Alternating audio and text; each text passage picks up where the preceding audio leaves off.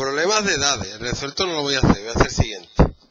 Un padre de 43 años tiene dos hijos de 9 y 11 años. ¿Cuántos años han de transcurrir para que entre los dos hijos igualen la edad del padre? En todos los problemas de edad hay que hacer una tabla. ¿Vale? Hay que poner las personas que intervienen. Padre, hijo 1, hijo 2. Yo lo que intento es siempre divertirme. ¿Vale? Entonces yo en vez de poner un padre cualquiera, voy a poner a Anakin Skywalker, que tuvo dos hijos.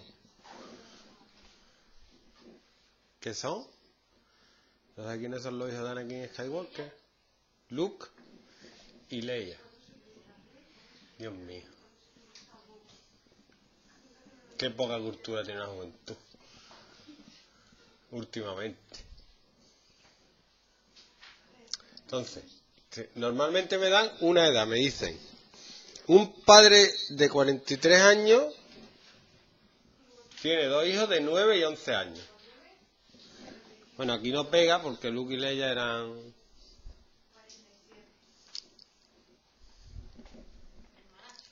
No. No, no mellizos. Nacieron a la vez. Pero me dice, ¿dentro de cuántos años entre los dos hijos tiene la edad del padre. Entonces, dentro, esto es hoy. Dentro de X años, que es la incógnita, ¿cuánto tendrá Anakin? 43 más X. Luke habrán pasado los mismos años. Y para Leia han pasado los mismos años. ¿Vale? ¿Eh? Entonces me dicen, ¿cuándo la suma entre los dos hijos igual es la del padre, es decir, la suma de las edades de los hijos sea igual que la edad del padre. Puede parecer más difícil, pero al contrario, es mucho más fácil. ¿Vale? De, además, una X la puedo simplificar. Del tirón. Porque menos X va a pasar restando y se va a hacer, mmm, pase cero. Me va a quedar X igual a 43 menos 9 menos 11. O sea, tienen que pasar 23 años, ¿de verdad? 23 años.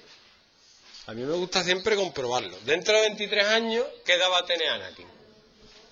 66. Luke, 32. Y Leia, 34. Efectivamente, 32 más 34 es 66. ¿Vale?